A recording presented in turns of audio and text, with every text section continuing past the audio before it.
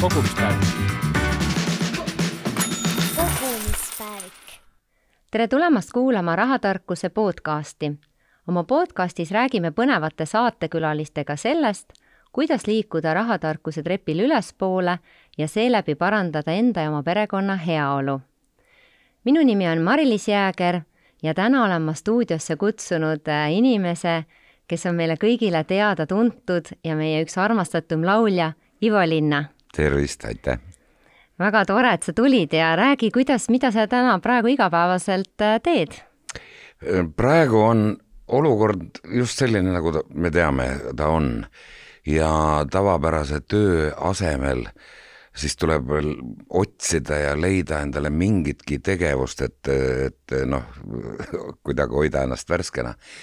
ja ma pean ütlema, et see on ka õnnestunud, sest et kevadine pikk sunnitud paus oli väga heaks kooliks. siin nutta pole mingit põhjust või viriseda, et oi, mis must nüüd saab või poes pole seda või teist asja saada. kõik on korras meiega ja, ja mina ütlen endiselt, et eh, rasked olukorrad eh, sunnivad mõtlema hakkama, sest kui üks asi tiksub samamoodi kogu aeg, nagu ta minu jaoks on tiksunud ju see artisti elu üle viiekümne aasta, siis sa harjud sellega ära, see ratas pöörleb ühtemoodi enam-vähem. ja kui siis tuleb mingi pauk, vaat siis tuleb hakata, hakata oma ajurakke natukene Eh, nagu tööle panema ja, ja praegu mul on seda tegevust küll ja küll, me teeme eh, vaikselt valmistume koos Supernovaga uue plaadi lindistamiseks wow., salvestamiseks, see tuleb duettide plaat mu kallite sõpradega, kes seal kõik on, Otid ja Tanelid ja ja mu kallis poeg ja see Eesti Laul, mis praegu käivitus, see lugu mille nimi on Ma olen siin no see on üks ka selle plaadi nii-öelda avalugudest. nii et tegelikult eh, ma ei tahaks öelda, et oi, et ajad on karmid, on muidugi, aga nendest me tuleme välja. no millal see uus plaat tuleb? no see on nüüd eh, täitsa hea ennustada, millal ta tuleb, sest mingit kindlat eh, tähtaega meil pole ja pigem eks ta järgmise aasta numbri sees muidugi tuleb, aga aga pigem me mõtlesime, et me rõhume äh, kvaliteedi peale, et ikkagi need lood oleksid igast võimalikust kanalist äh, äh, hästi kõlamas, kas sa kuulad siis raadios või, või autos või kus iganes. et, et rõhuks selle peale ja, ja see uue materjaliga tegutsemine, see on jube põnev. see on terve elu põnev olnud, sellepärast et kui tuleb mõni helilooja, kes ütleb, et kuule, mõeldes sinule ma kirjutasin ühe laulu, siis, siis saab minust see skulptor, kes hakkab sellest kivist seda kuju välja raiuma. ja see on, see on põnev töö ja nagu elu on näidanud, mitte alati see ei õnnestu, võib-olla läheb mingi aeg mööda, siis kuulad loo üle, mõtled, et ah, seda ja teist oleks võinud teha teistmoodi, aga perfektsionist ei, ma ei ole perfektsionist, pigem ma äh, ütleks seda, et, et tähtis on see tunne, mis ühes või teises laulus on. kas seal mõni kahtlasem noot on, see pole nii tähtis mm. -hmm aga enne veel me, kui me jätkame nende nii-öelda rahaasjade ja kogu sinu tegemistega, eh, teeme väikse mängu. nii mina küsin sinult äh, kolm küsimust ja sina saad siis nendele vastata. Et alustame, et milline oli su esimene taskuraha, kuidas sa seda teenisid ja kuidas sa seda kasutasid? no minu esimene märge kunagises tööraamatus oli see, et aastal, ma olin siis kuueteistaastane, kuuskümmend viis, olin ma siis suvel tööl eh, Kingissepa mehhaniseeritud eh, ehituskolonnis abitöölisena, mis tähendas seda, et hommikuti aeti meid poisipõnne autokasti, sõideti mingit sigalat või kuivatit ehitama, meie siis pidime seal kärutama küll liiva, küll betooni, küll noh, niisugused abitööd. ja, ja see raha tundus muidugi tollal, mis me siis selle paari-kolmenädalase töö eest saime ikka pööraselt suur, see oli võib-olla mingisugune selline kolmkümmend rubla. Mul see summa ei ole küll meeles, aga, aga see oli see miljonäri tunne. ja mis sa selle rahaga peale hakkasid, nende miljonitega siis miljonitega ma seda mäletan. ma ostsin imeasjad ja need olid triibulised nailonsokid ja see oli üks asi, aga siis vennaga kahasse me tegelikult ostsime ühe magnetofoni ja see oli tollal suur sõna. see oli üks Läti Mack Aidas üheksa M ja see oli, see oli üks, üks selline unistus, mis, mis me eh, täitsime. me ei pidanud eh, vanemaid piinama, et kuulge, et poisid tahavad tead makki osta ja, ja, ja see oli see ime, ime, mul on selle maki lõhn ka meeles. See oli, see oli nii suur asi. kas see on veel äh, alles? seda makki konkreetselt ei ole, aga mul on selline makk. mis ja. meenutab siis kogu seda asja? ma tegelikult tahtsingi teiseks küsimuseks küsida, et mis oli see esimene asi, mille jaoks te raha kogusite. kas see on seesama maks siis? jaa, see oli seesama makk aga see oli nüüd äh, sellesama konkreetse kolme nädala töö eest või pigem te pikemat aega kogusite veel raha selleks, et seda osta? see, see oli tegelikult, oli ikkagi pikem raha korjamine, sest et kes seda jälle mäletab, kui palju see makk maksis, aga ta, ta tolle aja kohta, kui ütleme, rublakene raha oli suur raha, ta ikka maksis, ma ei tea, mingi sada rubla või nii, et seda, seda andis korjata. jah, et oligi selline eesmärgipärane liikumine juba. oli, oli. kolmas küsimus, et on sul olnud mõni selline ähm, raha raiskamine või mida sa tagantjärele mõtled, et noh, see oli küll üks mõttetu ost, et on sul selliseid olnud, tuleb sul midagi no, meelde? no küllap on, äh, sellepärast et mõnikord ma olen, ma olen äh, tundnud seda tunnet, et kui sa tead, et sa oled äh, töötanud ja teeninud ja ja, ja mõnikord on hea tunne ka raha raisata, ütleme, kas siis sõpradega pidutsedes või e, niimoodi, aga e, kui ajad hakkasid muutuma, siis me käisime ju Rock Hotelli nimelise ansambliga Soomes tööl. Ja ma tõin kokku Soomest vist kolm või neli autot, sest siis oli see periood, kus äh, sai Soomest neid kasutatud küll Ladasid, küll vanu Volvosid oli, mul oli ka üks Volvo, siis ma ostsin sealt kolm väikest Škodat.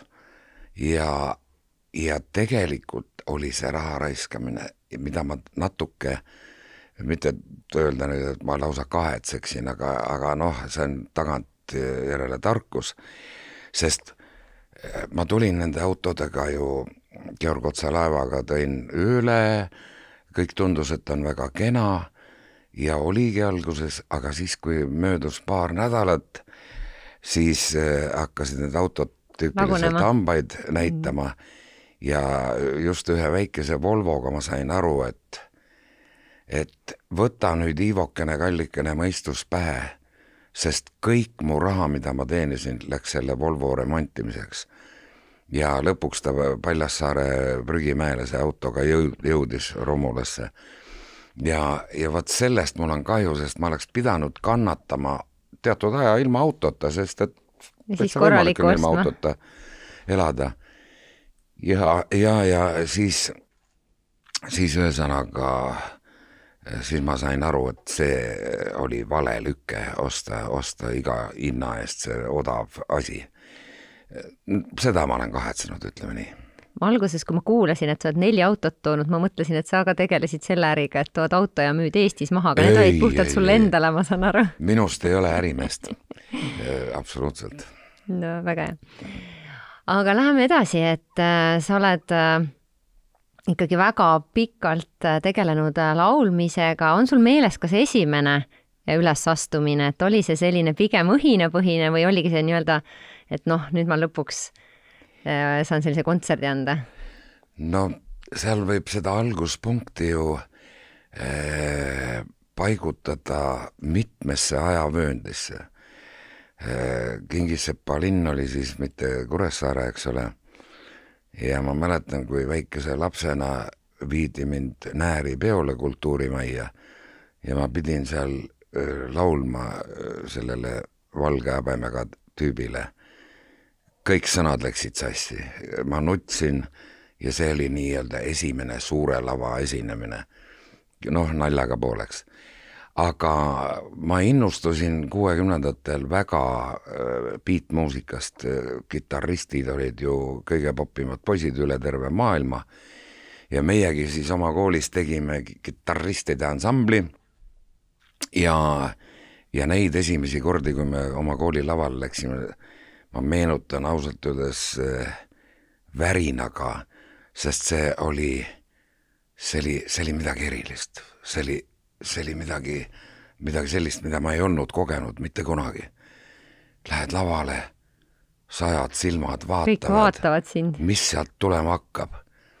ja ma julgeksin öelda, et meil see oli üheaastase punt kestis, sest siis me läksime, me olime abituriendid ja läksime laiali, eks ole. aga me saime esinetud koolis ja, ja veel viimasel suvel äh, kuursaalis. Me olime päris popid poisid, kui hakata nüüd ohjeldamatult ennast kiitma.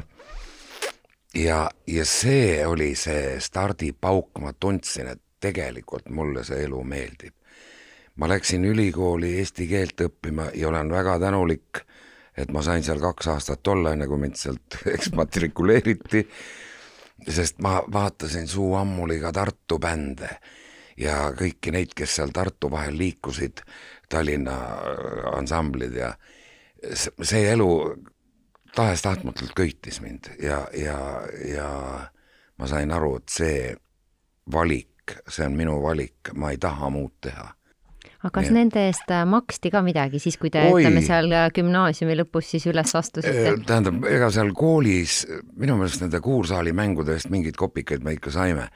Aga Tartus oli, tollal oli, seda on praegusele inimesele väga raske seletada, olid ansamblitel tariifid, kas sa olid A-kategooria orkester või B, sa, su, su tunnitasu oli mingisugune kuuskümmend kaks kopikat.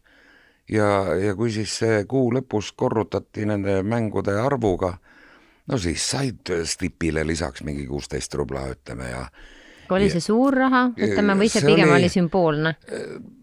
Ta oli ühe tudengi jaoks suur, sellepärast et ütleme, laias laastus kokku lüües stipipäeval, kui me läksime ikkagi äh, kaasüliõpilastega, no lähme siis piimasaali asemel õllesaali, siis Tartu õllesaalis sai ühe rubla eest sai karbonaadi, mis oli äärmiselt hea, karbonaadi ja kaks õlut, nii et ja sellest päevaks piisas mm,. sul on kõik nii hästi meeles. no vaata, tead, noorepõlve asjad jäävad meelde. ja, ja eks ta oli võib-olla täiesti šokeeriv, kui me ühe Tartu bändiga, mille nimi oli Süsteem ja kutsuti meid Paidesse esinema ja see oli siis kuuekümne kaheksanda aasta kevadel ja me mängisime kolm õhtut Paide kultuurimajas, vanas majas, armas maja, magasime seal kussettide peal lava all ja meile maksti muinasjutuline summa iga õhtul, iga mees sai kümme rubla no siis oli selline tunne, et kus on lähem äh, jahi- või lennukipood, et ostaks kohe jah, kaks jahti ja kolm lennukit kokku. see tundus suur raha. aga kas see, oled sa seda ka tundnud, et kui raha kuidagi äh, korraga noh, ma ei saa öelda kergelt, aga noh, ütleme nii-öelda sa saad selle summa kätte, kas tekib äh, soov ka seda kuidagi heldemalt või kergemalt ära kulutada, kui see, mis on nagu sellise raskema tööga tulnud? täitsa, täitsa võimalik täitsa võimalik, äh, sest et eks see on vana muinasjutu tarkus ka, et et kergelt et, tulnud, see kergelt läinud, jah? jah, et kergelt tuleb, kergelt läheb. aga ma olen siiski võib-olla tänu oma lapsepõlvele, sest ega need viiekümnendad ju eriti roosiline aeg majanduslikult kellelegi ei olnud, meil oli õnneks, oli ja mu vend elab seal siiamaani, suur aed, meil olid koduloomad, me jõime oma lehmapiima ja kanad ja kõik munad ja, ja juurviljad, puuviljad, õunad ja, ja me teadsime, et meile ei, ei jagatud nii, et, et ahah, taskuraha, taskuraha. Mm. -hmm. suvi, kuum, me ei saanud hommikust õhtuni jäätist limpsida. see oli suve, suve jooksul, suve jooksul võib-olla paar-kolm korda saime, siis anti lastele jäätise raha ja, ja limonaadi jaoks ja niimoodi ja et, et me teadsime tegelikult raha väärtusest küll juba üht-teist, et me ei kippunud seda hiljem ka äh, Äh, nii-öelda kulutama, aga äh, selle teemaga haakub ka muidugi see või eelmise jutuga, et kui sa saad kergelt raha, kipud seda ka raiskama.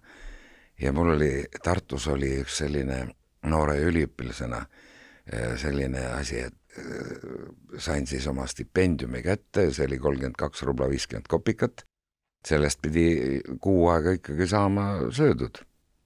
ja mina jalutan mööda äh, kaunist Tartu linna ja ühe kingapoe akna peal olid, ime küll, Austria kingad ja need maksid kolmkümmend kaks rubla. Ma läksin, panin nad seal poes jalga ja ma ostsin need ära, terve kuu söögirahaks jäi mul viiskümmend kopikat. aga õnneks äh, kodu ka päästis selles mõttes, et üliõpilastele, mitte ainult mulle, aga vanemad saatsid ju pakke toidupakke? panid vineerkastikese sisse, seal oli igasuguseid asju, moosipurke ja, ja, ja juustukerasid ja nii et äh, me saime elatud äh, need ajad, sa oled noor, sa ei mõtle selle peale, mis sust homme saab hakkama. või, või kuidas, kas ma saan homme süüa. Äh, ülikooli sööklas oli ka, leib oli laual tasuta natuke sinepit peale, kapsasalat oli ka kõrval tasuta, no siis sööd. aga ma mõtlen, et kas te siis kodus ei käinud vahepeal, et tänapäeval ikkagi noh, ma ei tea, nädalavahetuseks sõidetakse koju? No Tartust äh, Kuressaarde käis küll buss mm, -hmm. aga ei tulnud seda mõtetki, et ma hakkaks nüüd ütleme laupäeva hommikul ja minu arust meil olid laupäeviti ka loengud mm -hmm. või, või isegi paari-kolme vaba päeva puhul, et nüüd sõidad kolmveerand päeva Kuressaarde, tere, kallis isa-ema, ja siis tulid järgmine päev kohe tagasi, täiesti mõttetu. Aga mm, tolle aja kombed olid ju sellised, et me, me kirjutasime kirju, et mm. kuidas on ja ja, ja sai isegi, meil ei olnud siis kodus Saaremaal telefonigi, aga siis mõnikord vanemad ikkagi oli kokku lepitud, et siis ühiselamu üldtelefonile võeti kauge kõne ja noh, ma, ma mäletan ulme, isegi neid kaugekõnesid. ulmevärk tänaste ja, noorte jaoks. Aga kui veel rääkida sellisest muusiku elust äh, Eestis ja üleüldse, et kas on võimalik äh, muusikuna ära elada või pigem ikkagi pead leidma neid äh, kõrvaltegevusi, et, et hakkama saada? no sa näed, ma olen elus, järelikult on, on küll, tegelikult on ja noh, ma oskan ainult ju oma seisukohta või oma, oma latte pealt nagu seda asja rääkida, et ma olen laulnud restoranides, igasugustes kõrtsides tantsuks ja ja on olnud paremaid, halvemaid aegu nagu, nagu ikka. aga ma tegin ühe asja endale selgeks üsna varases nooruses et ähm, äh, ma arvan tundvat Eesti publikut ja teadvat, mida publik ootab, sest ma olen ju ka üks publikust ja ma tean, mida ma ühelt või teiselt kontserdilt ootan. ja ma olen püüdnud pakkuda seda, mida, mida rahvale vaja on, vähemalt ma, ma loodan, et mul on õigus. ma arvan, et sa oled hästi hakkama saanud sellega. ja, ja ütleme ma ei ole selline nišimuusik olnud, iga kunstnik on erinev ja, ja puha, aga, aga jah, ma olen tulnud, ma olen tulnud toime, on olnud äh, väga selliseid momente, kus, kus on rahaasjad on põhimõtteliselt nullis, nina hakkab vajuma allapoole vee, veepinda, aga need on olnud seotud mitte mingi pahelise kalduvusega, vaid pigem suuremate noh, ütleme siis peenemalt investeeringutega, noh, Muhu kodu lõputu remont, eks ole, igasugused sellised asjad ja siis, siis sa oled sunnitud kulutama ja ja, ja lähed reipalt ja teenid seda raha edasi ja ujud sellest olukorrast välja, nii et jah ma just mõtlengi, et muusikuna sul ei ole nii-öelda iga kuu kindlat sissetulekut, et tõenäoliselt peab ikkagi päris hästi läbi mõtlema, et nii-öelda kui see raha tuleb, et seda nii-öelda kõrvale panna, et kas sa pigem oled selline jälgija, et kuidas see rahaasjad nagu liiguvad, et noh, päris palju planeerimist nõuab see ikkagi. tähendab, minul on selles mõttes on kõik väga hästi, et mu kallis kaasa on raamatupidaja. ja ta jagab äh, seda, seda maailma väga hästi. nii et ähm, mina ei pea tegelema mingite tohutute arvete maksmisega ja noh, kõik mm -hmm. selle tänapäeva tehnikaga. et ma olen väga tänulik talle. aga teine külg on see, et ühel eluhetkel ma arvan, et paljud saavad sellest aru, et kui vähe sul vaja on tegelikult, et tunda ennast hästi ja õnnelikuna. ma äh, kadestasin noorena neid, kes käisid mööda Tallinna linna ja kellel oli kaugelt näha, et äh, jalas on uhked teksapüksid, mis maksid terve kuupalga, ütleme, soomlaste käest neid äritseti ja, ja nii edasi. ja loomulikult sa vaatad, et ai, näed, ma tahaks ka sellist riidetükki endale selga. see taandub, minu puhul see on taandunud. loomulikult mulle meeldib ka mõnikord ja, ja mul naisuke ajab mind vahepeal poodi, et kuule, ostame sulle midagi uut ka selga. aga et ma ajaks mingeid firma silte taga, et näidata, kui kõva mees ma olen, et kannan selle või teise firma särke-värke sellest ma olen küll äh, kaarega mööda käinud ja tegelikult eluks läheb vähe vaja. Äh, ma jah, ma, ma ei ole mingisugune askeet. Äh, noh, ikka lubad endale mingit ootamatut toitugi näiteks mõnikord, mis on kallim kui purgisupp, eks ole ja, ja mõnd äh, huvitavat jooki ja, ja kui need ajad olid vabad, siis me ikka käisime ju ka rändamas ja reisimas ja võtad auto ja sõidad mööda, mööda äh, maad ringi kusagil. Ja äh, sinna läks ka seda raha, eks ole, aga sa nägid maailma. Ja, ja ütleme praegu tavaelus, ega me ei planeeri, et ahah, nüüd me teeme ja paneme kõik kirja, ei. me raiskame nii pagana vähe. autokütus, et sõita Muhu vahet. me teeme tihtipeale mingi, mingi kolmepäevase supi ja, ja, ja me ei tunnegi vajadust käia hommikust õhtuni poes ja mingeid asju kokku osta. et, et seda, seda haigust meil nagu ei ole mulle tundub, et see on äh, kogu aeg ikkagi nii põlvest põlve, et kui sa oled nii-öelda noor, siis on sulle ikkagi need asjad, et äh, on see, vanasti oli, see on tänapäeval nii, et sul on vaja, sa nii-öelda kadestad natukene ja tahad ja. olla samastuda ja ajaga mm -hmm. ikkagi, mida vanemaks jääd, seda rohkem tuleb seda tarkust, et tegelikult mul ei ole neid vaja ja ma tean, kes ja. ma olen ja ma ei pea nii-öelda nende asjadega enam kuidagi tõestama või, või näitama teistele. jaa, see on, see oleks ausalt öeldes väga labane ja, ja mis harjumused jäävad veel lapsest peale, siis täiesti automaatselt ma kustutan ära tuled, kui ma lähen ühest toast välja. ja see on kuidagi see, et vot elektrit tuleb säästa ja kokku hoida.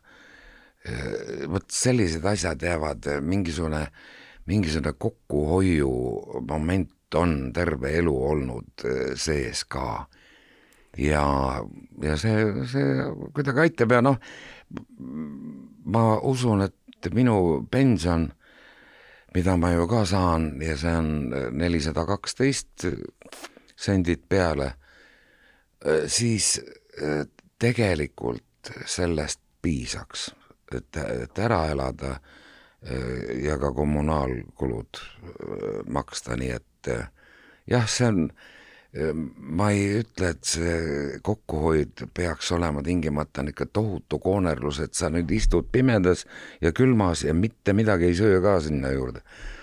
ei, aga saab küll kokku hoida.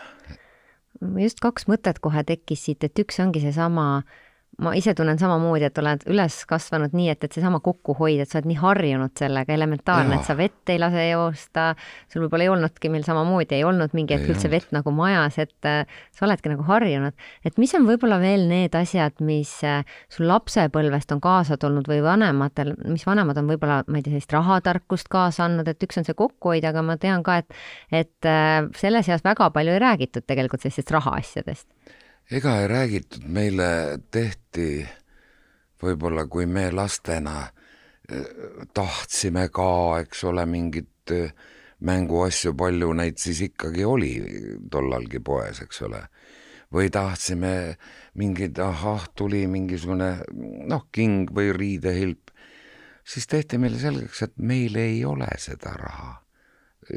lapsukesed, noh, piltlikult pidid kannatama, no, no ei ole, siis ei ole.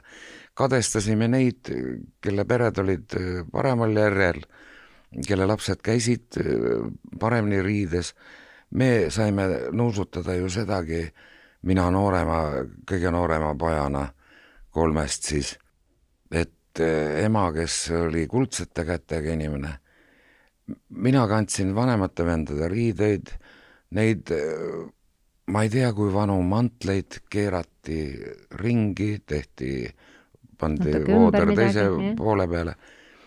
see on, see on kõik läbi elatud.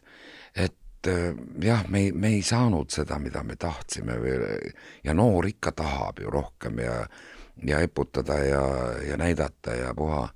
aga me saime selle, selle tarkuse küll kaasa ja eriti vanemaks saades sa saad aru tegelikult, et äh, selge on see, et noored, äh, noorus tahab möllata ja näidata ja olla ja, ja kas või vastassugupoole ees siis näidata, kui kõva mees sa oled ja niimoodi-naamoodi, aga aga vanemana see taandub ja, ja tegelikult, tegelikult saad aru, et äh, asjadel teatud asjadel on, on suur väärtus ja need on need, mis on sentimentaalsed mälestusesemed, ütleme, pildid, mõni emale või vennale kuulunud asi, mõni, mõni onu raamat, eks ole, võtad selle kätte ja sa saad aru, et see on see õige asi või mõni reis isegi, vaata need mälestused on ju. oi, äh, reise on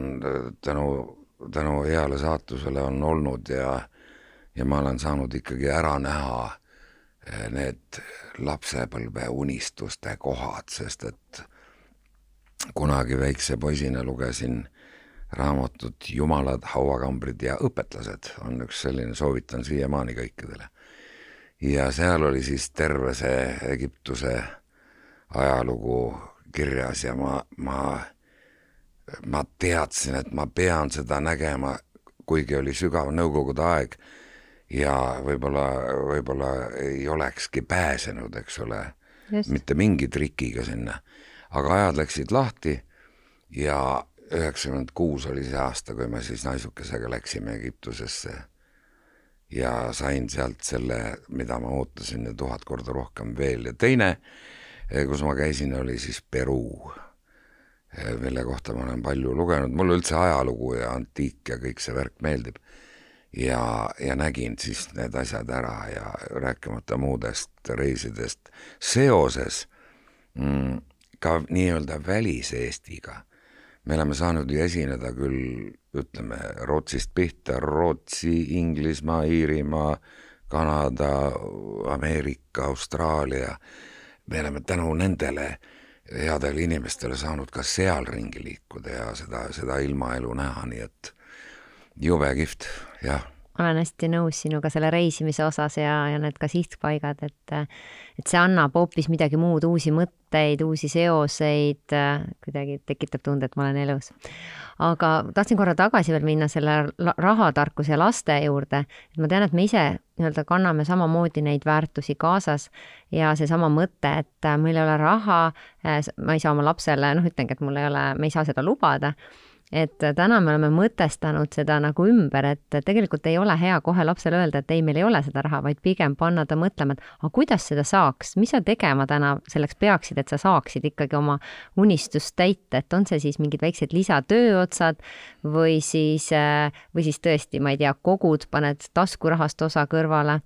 aga mis on need sinu tarkused, mida sina oma lastele ja lastelastele edasi annad? No ma olen äh, niivõrd, niivõrd, äh, kuivõrd ma olen püüdnud neid äh, noh, ütleme, elutarkusi nendele edasi anda, ega ma ei tegele ju ka sellega, et ütlen, et no nii nüüd, kallis Kaspar ja kallis Albert ja kallis Jon, nüüd istuge maha ja nüüd vanaisa hakkab teid õpetama, kuidas elu on, kus, kus mina tean, mis see õige on aga sa saad neid lapsukesi juhtida küll ja, ja, ja neid tulebki suunata, see oli sul huvitav ja õige tee, neid tuleb suunata minu meelest seda teed pidi, et vaata, poiss või tüdruk, kui sul on see unistus, siis tee kõik selleks, et see unistus täituks. Siis, siis korja seda taskuraha senthaaval pane teda kusagile põrsa sisse või, või kuhu. ja, ja ühel päeval, kui see raske teekond on lõppenud, sa loed need pennid üle ja saad aru, nii, ma tegin selle ära. minu meelest see on see tee ja see võit võib olla ju selles mõttes see summa ei pruugi olla suur, võib-olla mõni tahab seda kindermuna osta endale mm, -hmm. ka maksab ju midagi. no siis korjab nende ühe sent, sendiste haaval. ja kui ta selle ise kätte saab, selle raha, see on, tema jaoks on see palju tähtsam võit, kui vanaisa võtab oma hea südamliku näoga ja annab talle selle ühe eurose või kümme pihku ja loomulikult ma ka tahan ja olengi toetanud oma lapsi, kui ma saan aru, et asjad on nii või naa. Aga just lastelastele ma olen üritanud küll selgeks teha, üks asi on see, et kui ma üle tiki aja neid näen ja vanaisa läheb nendele külla, no ikka midagi peab näpus olema, see on täiesti loomulik. aga just see, et sa Mõtteviis. pead mm -hmm. saavutama eesmärgi ise. Äh, kui sa tahad võita saja meetri jooksu, sa pead lõpuni jooksma. sa ei saa jääda kuuekümne meetri peal pidama, mitte mingil juhul et, et just see protsess on minu, minu meelest väga tähtis, sest et ma olen õppinud oma vanemate ja ka kooli, oma kool, mul oli väga hea kool ja siiamaani, et, et sa, kui sa võtad mingi asja teha, mingi töö võtad ette, sa pead selle ära tegema. ja nii palju, kui ma olen suutnud, ma ei taha ennast kiita, aga, aga see on koolist ja kodust kaasa tulnud oh, ma olen, mõnikord on ikka täiesti toss väljas, nagu öeldakse, ja oled väsinud ja puha ja ja sa saad aru, kui palju sul on vaja veel teha ja sa oled tüdinenud, surud hambad kokku ja teed edasi. Ja see hetk, kui siis viimane läbidetäis saab kõrvale visatud. mul on alati niisugune tunne, et ma olen pool meetrit pikemaks kasvanud. Ja, ja, ja vot seda ma olen nagu püüdnud küll äh, nendele, nendele põnnidele natukenegi sisendada, et kui sul on unistus, siis hakka tööle. just, et seesama pingutus, et sa paned omale eesmärgi ja, ja siis sa hakkad samm-sammu haaval liikuma et noh, vanemana me ei tohigi ära võtta seda tegelikult seda võimalust tal pingutada, et me anname, mine osta siis onju. et just nagu toetada, et jällegi sina paned, astud ühe sammu, ma võin aidata sind sellel ja. teekonnal ja, ja et siis, kui see kätte, see eesmärk on saavutatud, et sa tunned sellest rõõmu, sa oled nagu ise teinud ikkagi ja just nimelt see pingutus. ja, ja just enne sa ütlesid samamoodi, et noh, et kogu aeg vaata see kokkuhoidmine, et vahepeal tuleb endale lubada, et sa teatud aeg sa suudad niimoodi kokku hoida, kõik vaadata neid kulusid ja jälgida, sa tead, mille nimel sa seda teed, aga et siis võtta see hetk ja korraga nagu nautida või siis minna ja lubadagi, et vot ma olen pingutanud, ma teen omale pai, ma ikkagi ostan sellesama teistmoodi söögi või joogi või, või mis iganes asja või emotsiooni, et, et just väga, väga nautida.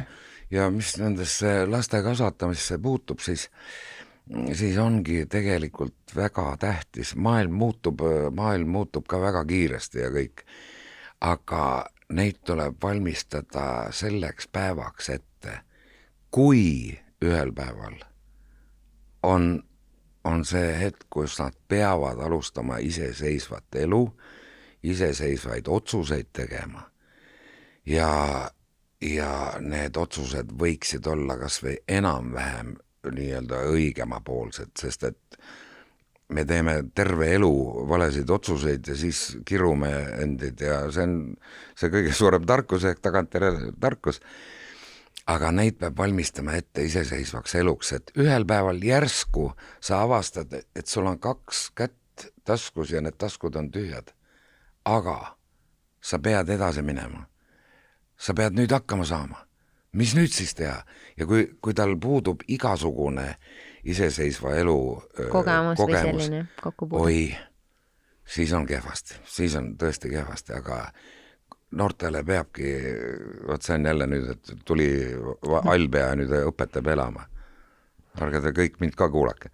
Aga, aga ikkagi, ikkagi jah, et nad saaksid ise teha otsuseid juba olles selles keerulises teismeeas ja ja vastutust ka. vastutus mm -hmm. oma tegude eest ja, ja raha kulutamise eest ja noh, vot sellised asjad jah, ideaalis oleks ju meil kõik teada, me ju teame, kuidas peaks elama, eks ole. info on kõik olemas, on ju. ja ma ise just olen mõelnud ka, et, et see noor inimene, et vahel on hea ka ise minna ja öelda, et tead, ma tegin täitsa halva ostu ja mõttetu, mõttetu rahakulutus, et, et näidata ka seda, et tõesti, me ise eksime, eksimine on inimlik ja et kuidas nüüd edasi minna või endale öeldagi, et noh, juhtub aga, aga et siis järgmine kord olen targem, et õpin sellest äh, õppetunnist Äh, küsin veel selle Eesti Laulu kohta, sa mainisid, et äh, oled ka eelnevalt seal olnud, et kuidas seesama, see motivatsioon ja ja, ja natuke võib-olla seda telgitagust ka, et, et kas seal pigem, no see kindlasti on, üks on pigem rohkem hingele,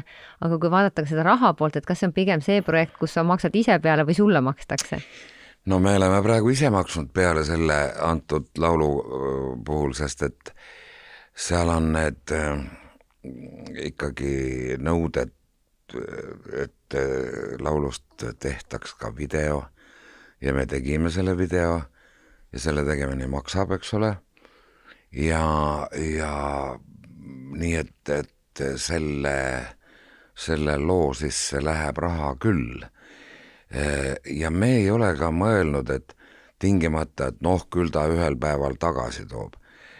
Pigem, ja seda ma olen ka korduvalt öelnud, on Äh, sellel puhul tähtsus või kõige tähtsam asi on see, et see laul ja mulle see laul väga meeldib, et see laul ei kaoks ära, sest et neli aastat tagasi oli, oli ju suur üllatus, kui, kui seesama Rainer Michelson, Supernova poiss, äh, ütles, et kuule, meil on selline suure loterii laul, eks ole, ja, ja tule laula. Ja laulan.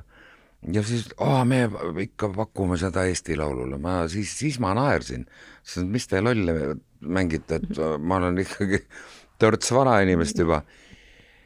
ei lähme.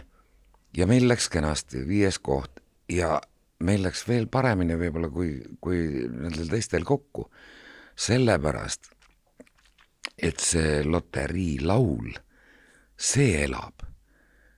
Me oleme seda mänginud küll pruutbaaridele, küll, küll igal pool kontsertidel, kus veel, rahvas laulab kaasa, rahvas tahab seda lugu, seda soovitakse soovikontsertides. ja, ja minu meelest see on hea, et üks lugu äh, elab. ja äh, eks me nüüd vaatame, nüüd ma nii väga ei muiganud selle pakkumise üle, et, et et kuidas selle looga läheb, aga ma arvan, et läheb hästi, sest et ütleme, see on traditsiooniline, arusaadav, äh, minu meelest ajatu lugu. ta ei ole mingi moevooluga kaasamineku teos aga, aga selline lugu võiks ka kesta üle, üle mitmete-mitmete aastate ja ja Eesti Laul on selline tribüün, kust, kus noh, ta on, temast on kujunenud aasta kõige kõvem muusikasündmus, eks ole, seda vaadatakse ja, ja, ja sealt on mitmedki lood saanud ju tuule tiibadesse ja, ja selles mõttes see on hea stardiplatvorm ühe laulu jaoks küll et see ongi hästi hea, et pigem ma saan aru, et kõik siis Eesti muusikud nagu võtavad kuidagi kokku ja pingutavad sellesama ikkagi selle sündmuse jaoks ja tänu sellele tegelikult sünnibki palju häid äh, lugusid, artiste ja ütleme, see tähelepanu, et, et noh, see ei olegi niivõrd nii-öelda esialgu selline rahaline projekt, vaid just sellise suurema eesmärgi nimel. See, see kõlab võib-olla natuke lamedalt või haledalt, aga, aga paraku või õnneks ma ei teagi, ka Eesti muusikaelu on läinud nii tihedaks. ma ei julgeks seda öelda, et meil on siin muusikatööstus nagu maailmas on ju mm. -hmm. aga sa pead olema ja hoidma, kui sa tahad, et sul oleks vähegi tööd, sa pead hoidma ennast Ähm, soojana ja mhm. pildil. Äh, rahvas peab sind nägema ja, äh, ja tõi-tõi-tõi, aga, aga noh, mul on see siiski siiamaani õnnestunud ja ma olen ma olen Eesti publikule küll erakordselt tänulik, et nad on mind välja kannatanud. ja, ja see jah, Eesti Laul on üks selline koht, kus sa ennast näidata saad, nii et täitsa tore ja minusugusel on väga huvitav. ma ei tea sellest noorte muusikaelust suurt mitte midagi. aga siis seal Saku Suurhalli koridorides, nagu eelmine kordki oli, sa vaatad neid, kuidas nad oma asju teevad ja sa saad seda asja kuidagi jälle seda elu eh, nagu lähedalt vaadata. seda energiat või seda seda energiat, seda tulva tunda, sest et kui sa teed oma asja, sa tead mm. -hmm. nii, täna on seal kontsert, lähme kohale paneme, paneme lood järjekorda ja hakkame pihta. aga seal on teine, teine mäsu ja teine maailm ja see on minu jaoks väga põnev mulle tundubki, et see noortega töötamine või koos olemine, et see hoiabki sellise kuidagi erksana ja ärksana. et ma isegi mõtlen, et sa teed seda noortega ka miniturniiri. oi, see on tore. et see on, on see seesama mõttega just nimelt, et sedasi kuidagi see, ennast teravana hoida? see on, see on nii tore ja, ja mis, mis puutub nendesse noortest veel eh, muusikutesse kõigepealt, siis eh, mulle meeldib see, et, et need minust kolm korda nooremad ei vaata mind nagu mingisugust fossiili. sekundiga ja me oleme ühel, ühel tasapinnal mm. -hmm nagu võrdne, võrdsed, võrdsed, aga nad ei vaata mind ülevalt alla või alt üles. samad jutud, muusikud on üle ilma tegelikult. sa võid olla väga kuulus, võid olla väga algaja, aga õiged muusikud leiavad kontakti kohe, see, mhm. see mingi fluidum on õhus, on täitsa olemas. ja kui me hakkasime nüüd miniturniiri eh, saateid tegema, nüüd on seitsmeteistkümnes hooaeg siis äh, alguses oli see planeeritud nagu pooleks aastaks, et, et vaatame, kuidas läheb. ja nüüd on siis seitsmeteistkümnes ja ma pean ütlema, et ma ootan seda igakuist salvestuse päeva äh, nagu õnnistust, sellepärast et ma tean, et sinna stuudiosse tuleb viis erakordset inimest. Nad on kõik, need noored on täiesti erakordsed. on tõesti. ja mõni kool on noh, ütleme vaiksem ja, ja niimoodi. teised on, teised on häälekamad. Aga see, kuidas nad äh, neid vastuseid kuidagi leiutavad ja ja, ja need vastused tulevad ikkagi lõpuks. see protsess on imeline ja meil on sealt läbi käinud selliseid, selliseid lapsi, kelle kohta võiks öelda, et ega ei imesta, tead, kui sellest, sellest saab president ja sellest saab peaminister ja sellest saab minister ja nii edasi ja nad on nii pagana targad et, et see, see on imeline, on see miniturniir küll, ma, ma olen väga tänulik, et mind seal peetakse. no vaata, see ongi see jälgida nende mõtteviisi, et kuidas nad nende vastusteni jõuavad, et minu meelest see alati ongi, ongi nii põnev.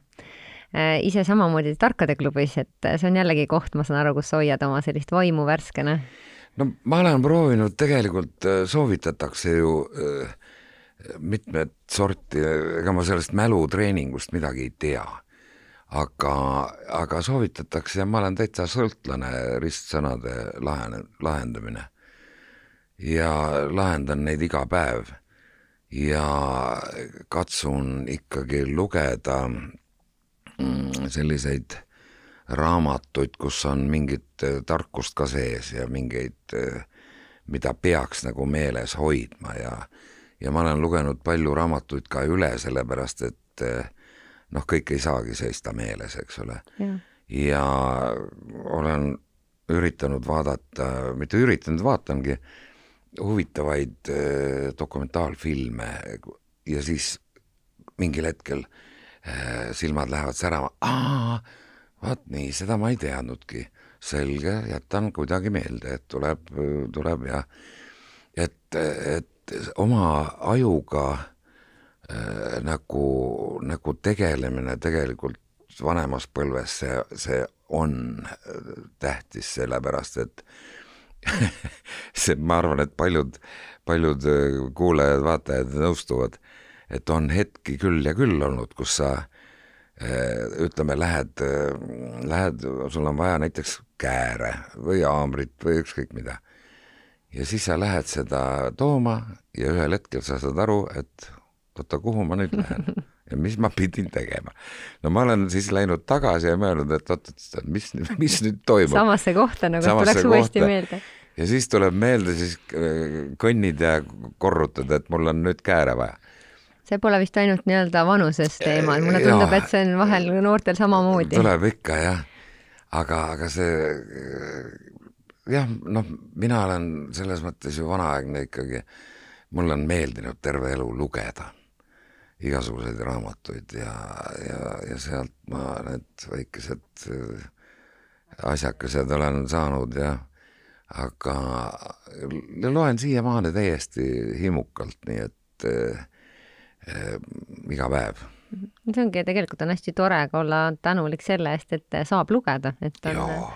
Silmanägemine ja kõik no, need muud asjad aga räägime korra veel sellest äh, Muhu asjast, et äh, see on, ma saan aru, suur asi, millest see on, ütleme ka rahaliselt on, ma arvan, omad eesmärgid seal olnud ja, ja kindlasti ka jätkuvad. et kuidas see Muhu üldse, ma ei tea, teieni nagu jõudis või natuke selle tausta ka? Äh, mu ema poolt suguselts on tegelikult muhulased -hmm. aga sellel talul antud juhul ei ole selle seltsiga mingit pistmist. Tuli üks pakkumine ja neid pakkumisi oli õieti mitu ja see oli üks vihmane päev, kui ma sinna õue peale siis sattusin esimest korda. see talukene oli olnud juba seitse aastat tühi. Õnneks olid nad pannud ikkagi sinna eterniitkatused, eks ole, peale, nii et seal ei olnud midagi hävinemas või hävinemisohus. Ja ja käisin need teised kohad ka läbi, aga vot see on see mingi koha, koha vaim. sa lähed sa saad aru, et oot-oot-oot. see, see on see koht. ja nüüd ma olen seal siis kakskümmend kuus aastat olnud, õigemini kakskümmend seitse sai siis nagu käed kadunud peremehega kokku löödud seal õue peal. Ja ja siis ühel hetkel sa tajud, et sinu elu kõige tähtsam otsus on tehtud. keegi kuskilt tõi sind selle õue peale. see on suur privileeg maal elada. ja järelikult on see sinu missioon, on teha seda või selleks kõik, et see esivanemate pärand säiliks ka tulevastele põlvedele. vaatad asja üle, saad aru, ahah, tegelikult on need katused läbi. tegelikult on see ja teine asi läbi. ja hakkad otsast pihta, ühest rahalisest nullpunktist teiseni. tuled sealt ära ja, ja see ei ole nali, aga ma tõesti armsate Muhu sidekontori daamide käest laenasin mitu korda praamipileti raha, et saaks mandrile tööle minna. ja ujud sealt nullist välja, pingutad ja teed, teed nii palju, kui jaksad seda tööd, eks ole. ja paralleelselt siis jupikaupa ehitad seda ja päästad ja renoveerid ja kõpitsed seal kogu aeg ehk siis paned mingid etapid nagu, et eh, nii no,, see ja, asi tahan ja, ja siis jälle korra, pingutad, teed tööd, jälle nimelt. tehtud, järgmine asi. korraga kõike ei, ei, ei saa, nii et seal on, seal on läbi kõikide nende aastate on ikkagi midagi toimunud eh, kogu aeg ja, ja siis, kui saad mingi asja jälle tehtud, siis mõtled, huh, no nüüd on küll kõik asjad tehtud. siis vaatad ahahaa, nii, siit on hakanud mingi asi lagunema, selge. Mhm, selline lõputu tegelikult ikkagi oma majaga. kääriga käisid ja. üles asu tööle kallale. Ja, ja. ja seal seda, seal seda tegutsemist on, aga, aga tui-tui-tui, ma olen, ma olen tõesti õnnelik, et ma ei tea, kui vana see maja on. Kui vanad on need Ait ja Tall seda talu on mainitud esimest korda tuhat seitsesada kolmkümmend üks päris vana koht. Äh, seda maja suurt tare äh, on, seda on mitmeid kordi ümber ehitatud, suuremaks ehitatud ja nii edasi. märgid näitavad, millal sellele talule või sellele majale algus esimene palk pandi, ei tea. seda ei saagi teada. ja siis sa mõtled nende inimeste peale, kes olid nii targad et nad oskasid sellise maja püsti panna. seal ma võin magada kaksteist tundi jutti, sest kõik on õige. see maja hingab, sina hingad koos majaga ja, ja mul on tõesti uhke tunne, et, et minu käed on olnud mängus seal, et see asi säiliks ja ja, ja, ja oleks ka tulev, tulevastele põlvedele selliseks paradiisi kohaks, kuhu tahad minna ja seal olla see on selge, et mind ka ju noores põlves ikkagi suurlinnad oled ja möll ja see loomulik hulg on ju. värk, aga ühel hetkel sa tüdined sellest kisast-kärast ära ja ma, kuidas ma ütlen, ma olen aru saanud, kui palju on mul õnne olnud, et ma saan kuulata seda meeletut vaikuse kanonaadi, kui sa istud seal õues eh, ja kuulad kas või puude kohinat, lindude laulu, eh, putukate siristamist, eh, looduse hääli, et, et kui rikas ma tegelikult olen. mul ei ole, mul ei olegi muud vaja, absoluutselt mitte midagi.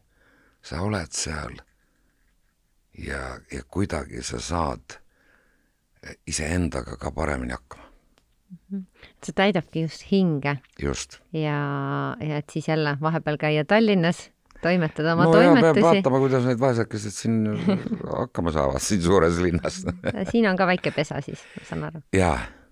Äh, küsin veel äh, natuke veel selle ettevõtluse kohta, et, äh, et sina ju tegelikult oled ka ettevõtja nojah, sellepärast et, et, et, et ma tahan olla Eesti riigi suhtes ju aus inimene ja, ja olengi. et maksud saaksid makstud ja, ja, ja saavadki. ja sellepärast meil on see OÜ ja, ja ega, ega ma ei oskagi jälle ma ei ole sellest äh, rääkimiseks võib-olla äh, väga pädev, sest et imbi on, ma saan aru, abis. imbi on see, kes, kes need paberid seal kõik korras hoiab ja. pigem võib-olla ma küsingi, et on sul meeles, kui te sellise esimese, ma ei tea, ettevõtte üldse tegite, et oli see nagu lihtne või kuidas tänapäeval üldse on ettevõtja olla, on see nagu lihtne või, või no, pigem keeruline? no minu jaoks on, minu jaoks on see väga lihtne, sellepärast et mina pean panema äh, arve küsima, ma saan aru, jah? selle puhtama riide selga ja lavale minema ja ja, ja tellija maksab ja kannab raha üle ja ja, ja nii, nii see asi käib. nii et minu jaoks on see, see lihtne, aga, aga noh, imbi siis neid paberid seal korraldab.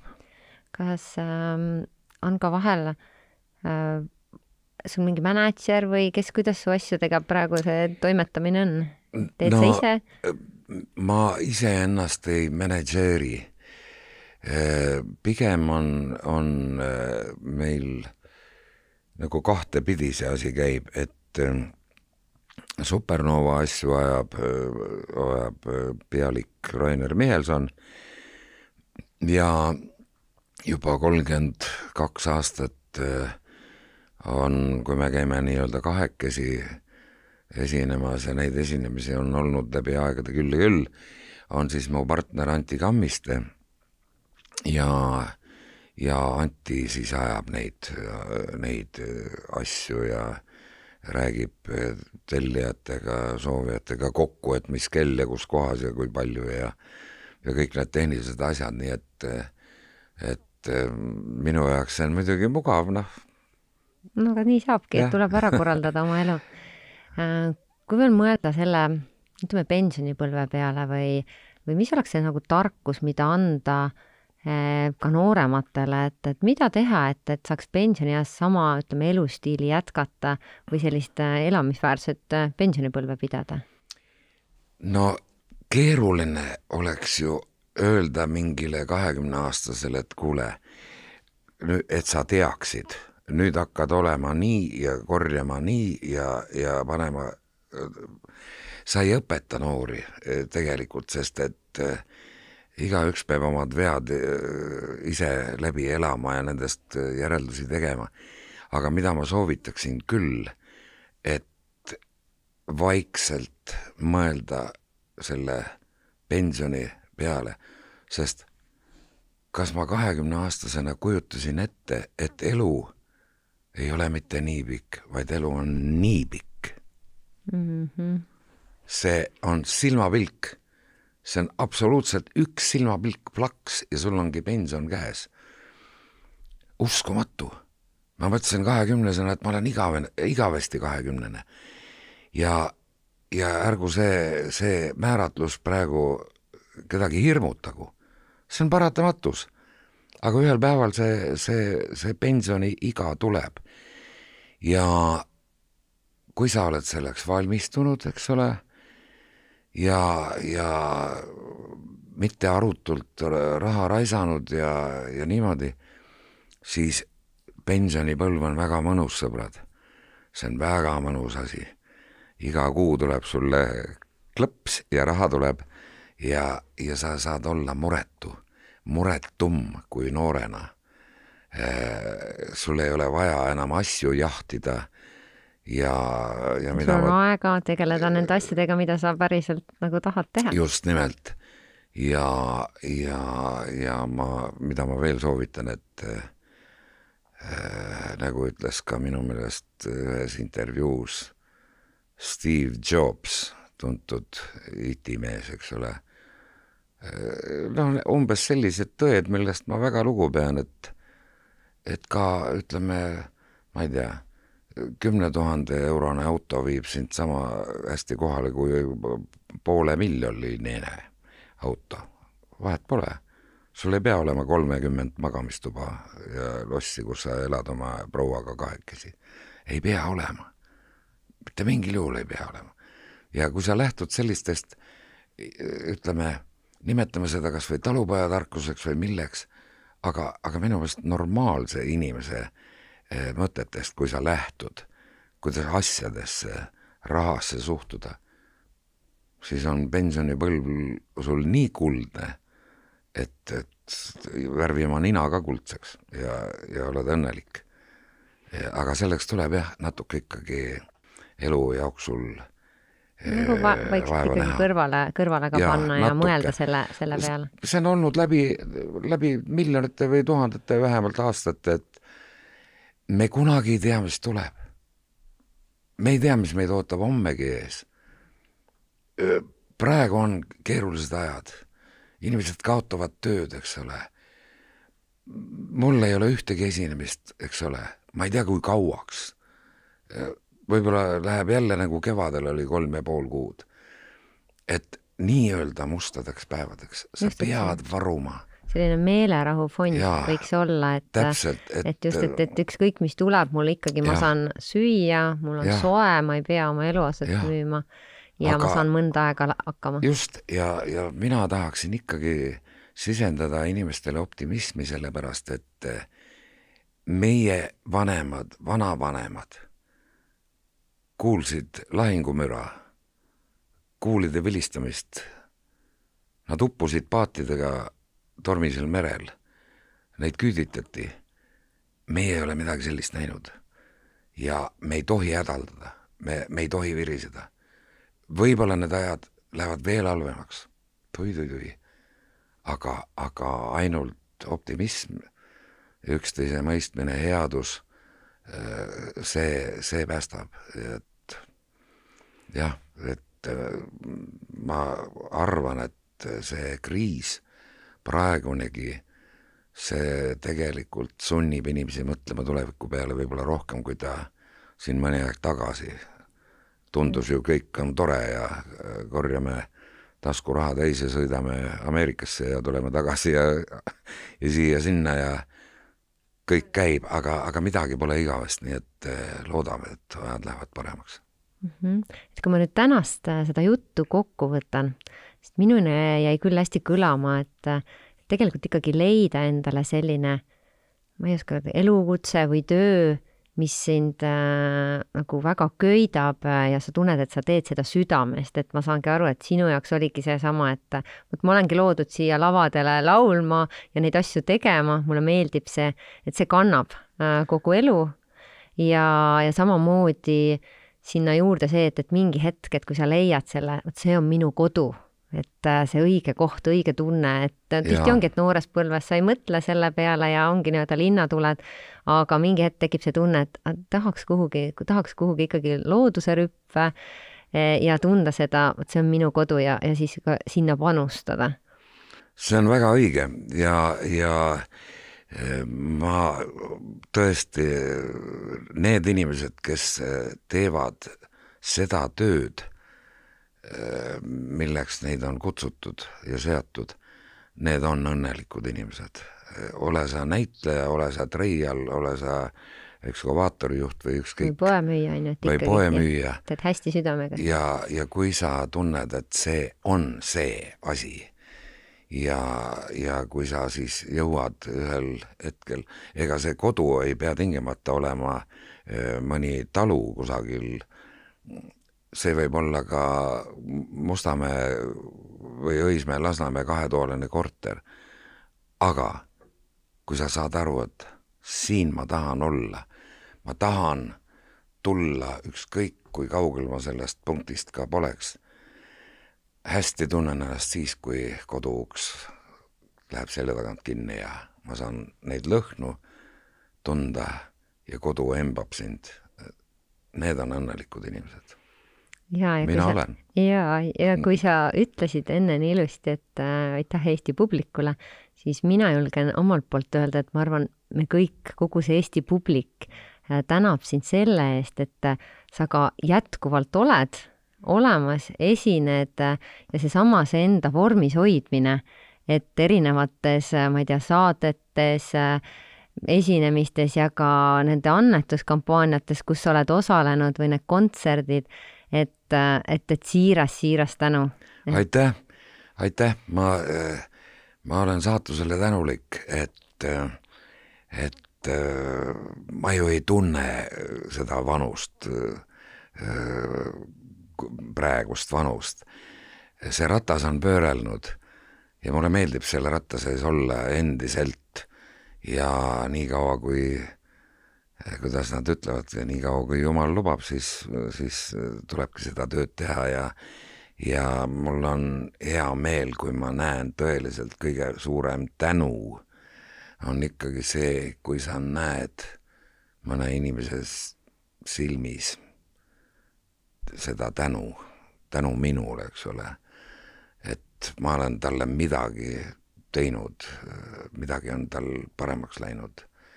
ja vot selle nimel, selle nimel ma seda tööd teen aga suur-suur aitäh ja, ja mina tänan samamoodi selle panuse eest, mis sa meile täna siia panid, et paljud kuulajad saavad Aitüma. ka sellest osa ja, ja kõigile kuulajatele, vaatajatele, et äh, teil on võimalus äh, siis seda järele ka vaadata Youtube'ist või ka kuulata siis podcastina ja kui meeldis, siis jagada ka oma sõprade-tuttavatega.